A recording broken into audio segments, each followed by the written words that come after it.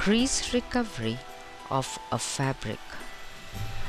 A crease is caused by folding the fabric on itself and is identified by the sharp bend at the fold.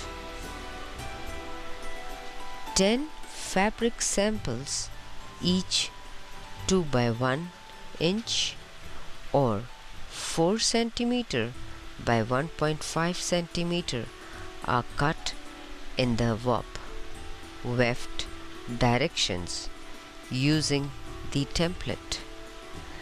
The specimens are folded end to end in half with their edges gripped in one line with the help of tweezers. Half of the test specimens in both cases are folded face to face and the other half back to back.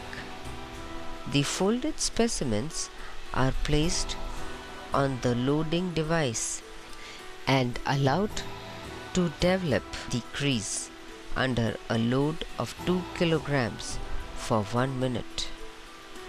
The weight is removed and the sample is placed with the help of forceps in the clamp with half of the sample hanging vertically downwards.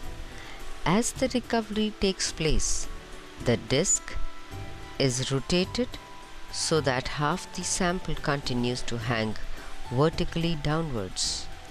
After a recovery time of 1 minute, the crease recovery angle is read on the engraved scale.